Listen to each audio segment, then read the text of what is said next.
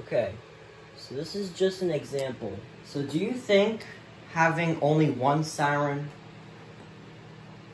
or I mean, no, no, no.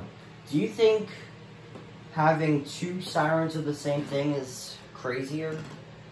Well, let's find out.